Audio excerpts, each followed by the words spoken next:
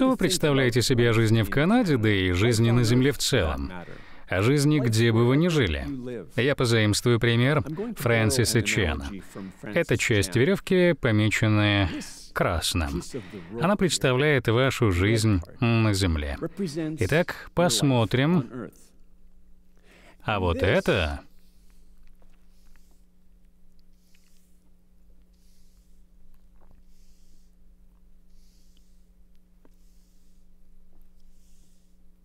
представляет жизнь вечную. Она продолжается. Так-то. В книге «Бесконечная игра» говорится об ограниченных играх и бесконечных играх. Ограниченная игра имеет определенное начало и конец. Есть четкие правила, по которым в нее играют, и в конце игры вы узнаете результат. Вы знаете, кто победил. Это такие игры, как футбол, хоккей, баскетбол. Но жизнь — это не ограниченная игра, а путешествие. Это главная, бесконечная игра. У нее нет ограничений по времени и нет конца. Иногда мы играем жизнь так, словно это ограниченная игра. Мы пытаемся получить от этой жизни все. Мы пытаемся достичь как можно большего, пережить как можно больше до ухода на пенсию. Мы живем так, словно 60, 70, 80 лет на Земле — это все, что нас ждет. Когда мы молоды, то пытаемся принимать верные решения, ставить галочки в нужных местах, чтобы наша жизнь была как можно ближе к совершенству, ну или хотя бы лучше, чем у окружающих. Остановясь старше, мы делаем все, чтобы в последней части красной зоны мы были здоровы, богаты и свободны. Мы часто живем для того, чтобы получить максимум от этой ограниченной части жизни. Посмотрите, как Давид, автор 15-го псалма, подходит к жизни. Храни меня, Боже, ибо я на Тебя уповаю. Я сказал Господу, Ты Господь мой, благо мои тебе не нужны. Он начинает с молитвы. 15-й псалом, скорее всего, был написан во время кризиса. Давид выражает свою уверенность в Боге. «Боже, я прошу, чтобы Ты сохранил мою жизнь. Ты мое единственное убежище, моя единственная защита».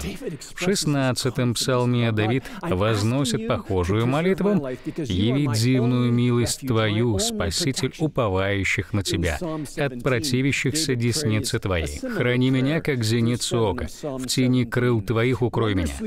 Нам, естественно, защищать зрачок. Давид говорит, Боже, храни меня так, как человек защищает зеницу ока. Это метафора, которая говорит о самых ценных вещах. Давид говорит, «Боже, покажи мне свою приязнь, свою любовь». Во втором стихе Давид пишет, «Я сказал Господу». Господу написано с большой буквы. Так переводчик показывает, что это слово означает имя Бога, Яхве. Мы видим его снова в пятом, седьмом и восьмом стихах. Откровение Божьего имени — это не данность, а дар, потому что оно открывает его суть, его характер. А что означает слово «Яхве»? Корень этого слова означает «я есмь», «Яхве». Он определяет значение существования. Он всегда был, есть и будет. У него нет начала или конца.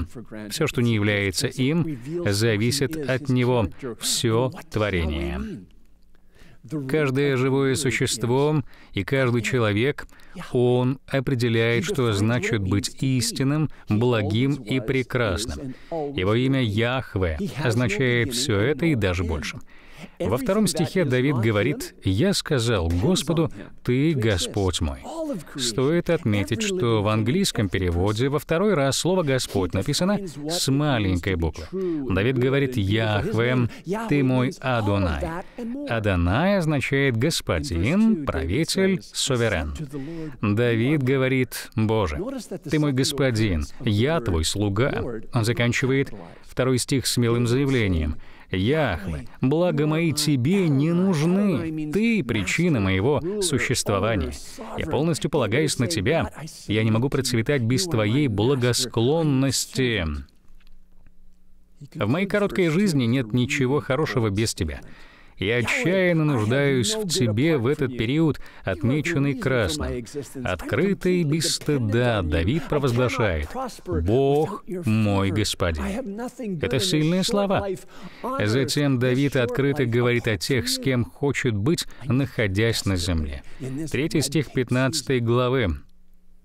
К святым, которые на земле, и к дивным Твоим, к ним все желание мое. Пусть умножаются скорби у тех, которые текут к Богу чужому. Я не возлию кровавых возлияний их и не помяну имен их устами моими. Давид наслаждается временем со святыми. Но кто они?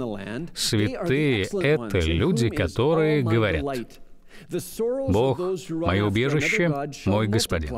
Эти люди идут одним путем. Они открыто принимают привилегию быть членом Божьей семьи. Зеница его ока. Они знают, что Бог истинен, благ и чудесен, и хотят быть такими, как Он. Они наслаждаются Богом и Его Словом. Мы слышали это в послании пастора Броди по первому псалму. Они не относились к Богу как данности. Во время этой пандемии я бы хотел призывать всех нас ценить отношения с людьми, которые проходят путь познания Бога и хотят стать такими, как Он. Такая дружба бесценна. Не только в это время, но и в любое время вообще. Когда мы играем бесконечную игру, то должны обращать внимание на тех, кто идет рядом. Бог не создал нас, чтобы мы ходили одни. Нам нужны другие люди. Если вы не участвуете в группе наставничества, то вам стоит найти ее, связаться с тем, кто уже в ней, со служением, наставничества. Нажмите на кнопку «Связаться». Итак, в четвертом стихе Давид скорбит о пути тех, кто относится к Богу как к данности. Они говорят, что доверяют Яхве, но они также активно ищут помощи у других богов. Они хотят усидеть на двух стульях сразу. Они хотят двойную защиту во времена кризиса. Их вера податлива. Да, Яхве мой Данай. Но у меня также есть и запасные варианты. Давид знает, что их тревога и неуверенность будут лишь расти. Представьте себе, что вы живете в древнем мире. Вы вроде доверяете Богу, но также доверяете и другим богам. Какому Богу мне молиться? Я вообще к правильному Богу обратился. Я выполнил нужный ритуал. Идолопоклонство не может идти в паре с уверенностью в Господе, Господине, который держит все в своих руках. Представьте жизнь в современном мире. А вы вроде доверяете Богу, но также доверяете другим вещам и людям, которых идеализировали. Большинство из нас слишком продвинуты, чтобы делать образы других богов из дерева и камня. Для нас идол — это то, что определяет или контролирует наше благосостояние. Мы можем создать идола из чего угодно. Деньги, семья, друзья, здоровье, правительство, игра, спортивная команда и худший из идолов — эго — я сам решаю свою судьбу. Я сделал себя богатым. Я создал свою личность. Только я и я. Когда мир проходит потрясение, эмоции показывают, на что мы полагаемся. Если мы отчаиваемся из-за потери чего-то, что мы желали, отдаления со стороны людей, которые нам не безразличны, нестабильности в государстве, то это говорит, что мы превратили эти вещи и этих людей в идолов. И если мы идеализируем себя, то должны осознавать, что ограничены в вопросах мудрости и власти. Поклонение себе это главный двигатель тревоги. Давид говорит, «Тот, кто бежит другим богам, не имеет конца проблемам». Давид отказывается участвовать в идолопоклонстве. Он настолько ненавидит это, что даже не упоминает имена других богов. Он открыто провозглашает «Бог для меня все». После выражения своего негодования по поводу идолопоклонства, Давид открыто провозглашает имя Бога, которого он не просто чтит устами, но и всем сердцем. Яхве. Господь есть часть наследия моего и чаши моей. Ты держишь жребий мой. Межи мои прошли по прекрасным местам, и наследие мое приятно для меня. Слова «часть» и слово «чаша» Оба они говорят о Божьем обеспечении. Бог является насущным хлебом для Давида, то есть всем, что ему нужно в это время, отмеченное красным. Иисус говорит похожие слова о себе в Евангелии от Иоанна, 6 главе, 35 стихе. «Я есть хлеб жизни, приходящий ко мне не будет алкать, верующий в меня не будет жаждать никогда». У Иисуса есть все необходимое для нашей жизни. В пятом и шестом стихе мы видим снова слова «часть», «жребий», «межи», наследие. Все это связано с разделением земли на участки после завоевания земли обетованной. Когда Израиль вошел в Ханаан, то землю разделили между коленами, кланами и семьями. Вы можете прочитать об этом в книге чисел и в книге Иисуса Новина. Но обратите внимание вот на что. Нечто удивительное случилось с коленом Левия. Они не получили землю, как другие колена. Им дали города-убежища, а их настоящим наследием был сам Бог. Яхве обещал им быть их уделом. Господь сказал Аарону слова, записанные в числах 18 главе 20 стихе. И сказал Господь Аарону, в земле их не будешь иметь удела, и части не будет тебе между ними. Я часть твоя и удел твой среди сынов Израилевых. Если бы мы могли выбрать хороший участок для жизни на земле или близкие отношения с Богом, сейчас и навеки, то что бы мы выбрали? Если мы выбрали что-то другое вместо Бога, то для чего, скажите? Что мы больше всего ценим сейчас? Наши дома, имущество, отношения, детей, финансовое наследие от родителей. Давид говорит о чем-то большем, чем земля в Ханаане. Обетованная земля для него — это метафора отношений с Богом. Отношения с Богом важнее всего для него. Яхве достоин интерес, внимание и посвящение. Давид открыто провозглашает свой выбор. Бог Яхве, мое избранное наследие. Он пишет, «Межи мои прошли по прекрасным местам, и наследие мое приятно для меня». Он получил лучшее наследие, отношения с самим Богом. Он играет в бесконечную игру. Он знает, где найти настоящую реализацию. На День Отца у меня был хороший долгий разговор с моим отцом, которому почти 93 года. Мы поразмышляли над его переживаниями как отца. Четверо сыновей, четыре невестки, 14 внуков и уже 17 правнуков. Мой отец был наполнен благодарностью. Он признал, что совершил некоторые ошибки на пути, на что я ответил, «Пап, мы никогда не бываем всегда правы. Мы всегда движемся в направлении». На что он сказал, «Да, все это по Божьей благодати и милости, а не моей». Мой отец любит читать. Я люблю разговаривать с ним, потому что он пересказывает истории книг, которые прочитал. Во время сезона пандемии его переживание было ограничено. Когда я в последний раз спрашивал, что он читал, то он с улыбкой сказал «отличную книгу Библия». Он выбрал свое наследие. Если мы следуем за Иисусом, то Бог — наше наследие. Павел пишет нам в послании Ефесянам. «В нем и вы, услышав слово истины, благовествование вашего спасения, и, уверовав в него, запечатлены обетованным Святым Духом, который есть залог наследия нашего для искупления удела Его в похвалу славы Его».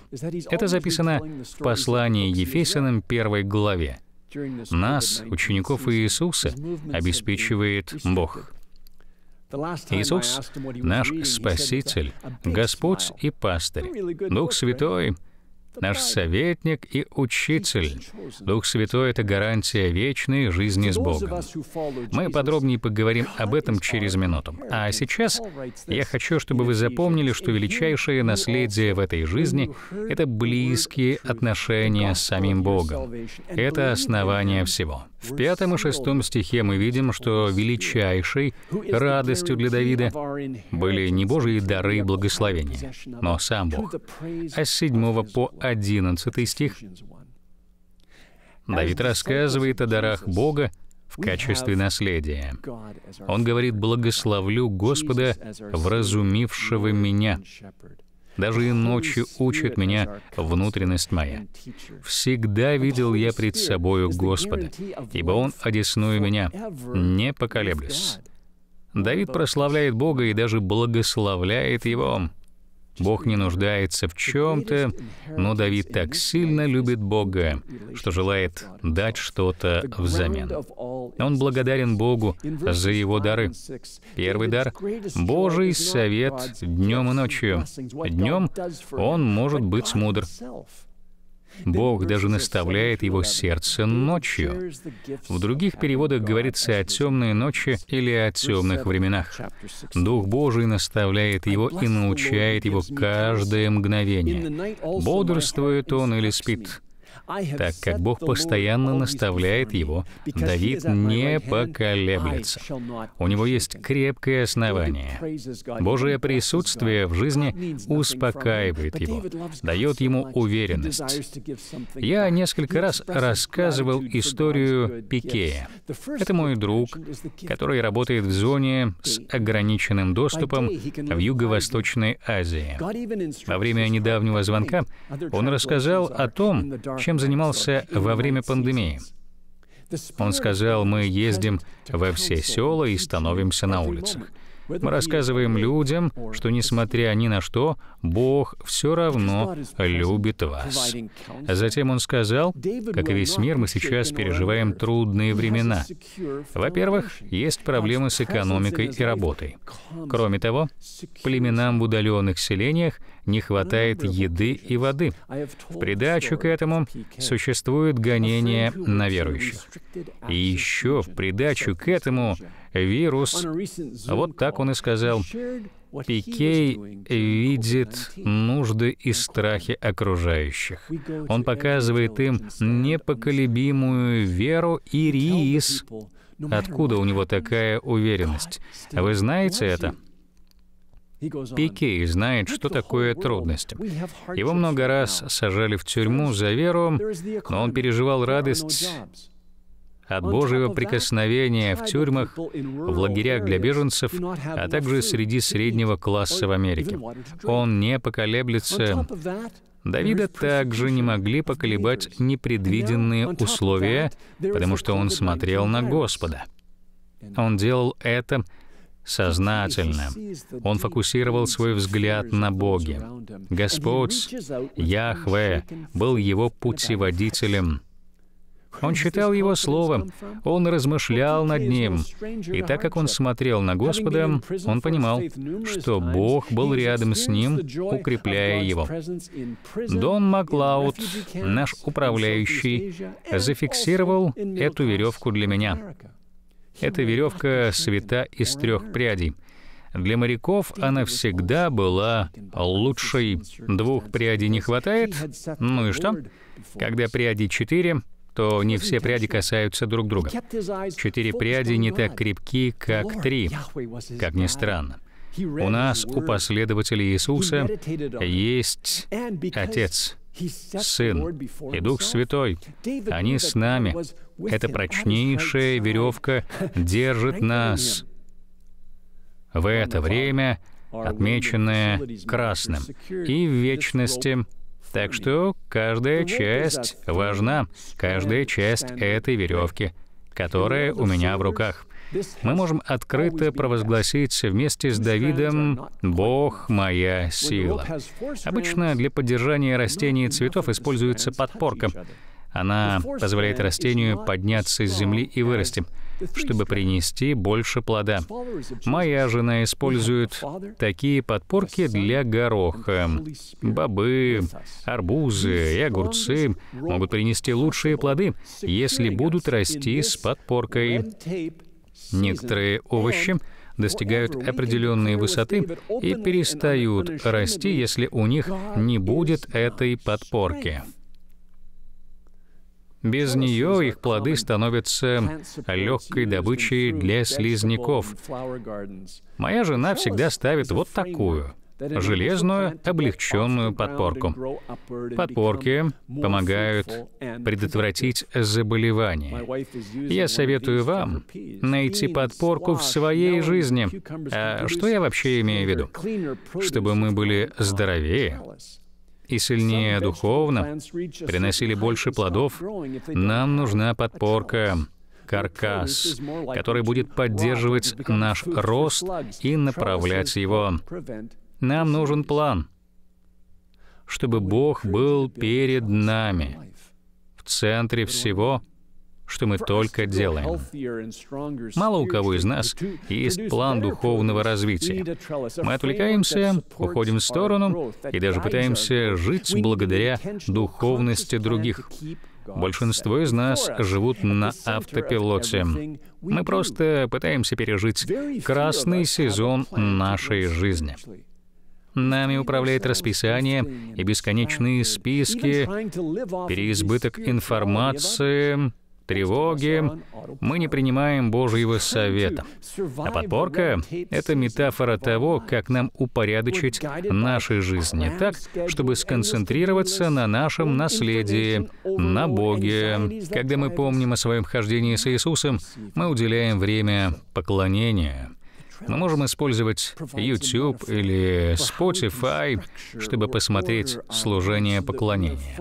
Мы ежедневно уделяем время чтению и размышлению над Словом Божьим. Оно должно проникнуть в наши мысли и насытить наши эмоции.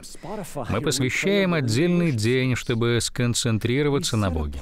Мы даже можем использовать часть нашего отдыха, чтобы помолиться и сфокусироваться на Боге. Мы должны строить строить отношения с другими, чтобы оставаться на таком каркасе. Да поможет всем нам Бог. С 9 по 11 стих Давид продолжает перечислять дары Божии, дары Божьего наследия, которые мы должны получить. Вот хорошая книга, которая поможет вам разобраться с этим. Она называется «Бог во всем». Ее написал Кен Шигамацу, старший пастор церкви Кенс. Обязательно прочитайте ее. Ну что ж, а в девятом стихе Псалма мы читаем «От того возрадовалось сердце мое и возвеселился язык мой, даже и плоть моя успокоится в уповании, ибо ты не оставишь души моей в аде и не дашь святому твоему увидеть тление. Ты укажешь мне путь жизни, полнота радости пред лицом Твоим, блаженство в деснице Твоей вовек. Несколько слов требуют объяснения. Ад или Шеол. Так называется место, куда попадают неверные. Это место, где находятся люди, которые отвернулись от Бога. Это место полной изоляции и отделения от Бога навеки. Оттуда невозможно вернуться.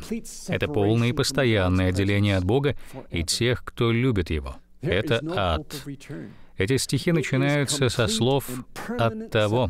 Давид исполнен уверенностью и радостью, потому что Бог — его убежище.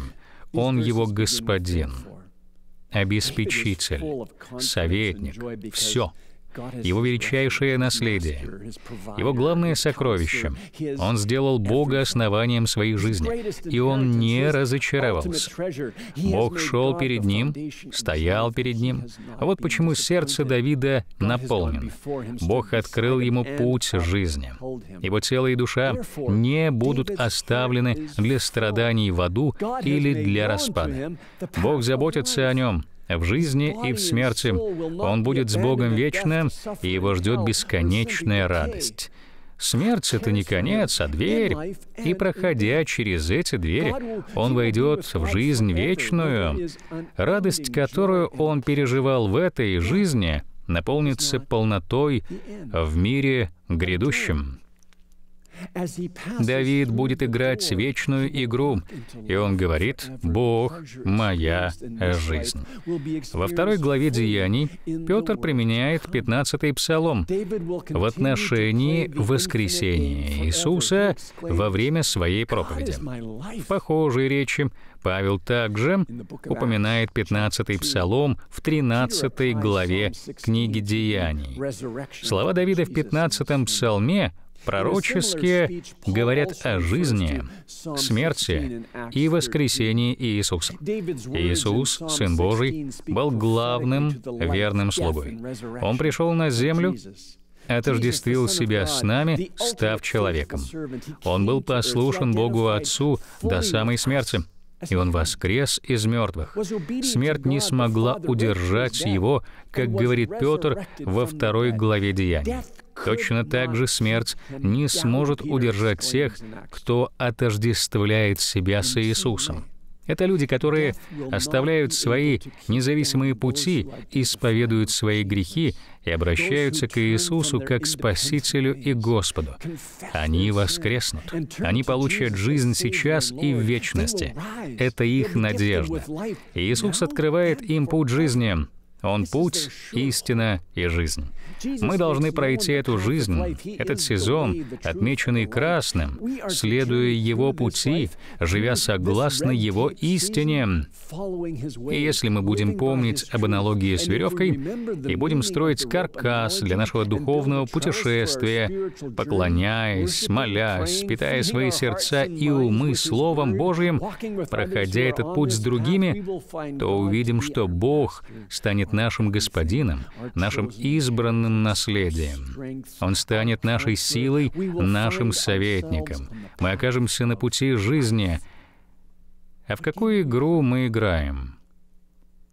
Делаем ли мы лишь свои дела, живя, словно это время — это все, что у нас есть? Или мы играем ради вот этого?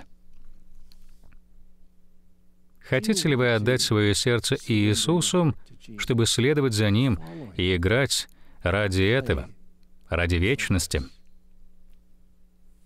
Если вы хотите сделать это сегодня, если вы ощущаете побуждение от Духа Святого, чтобы отдать свое сердце Иисусу, это Бог побуждает вас к этому.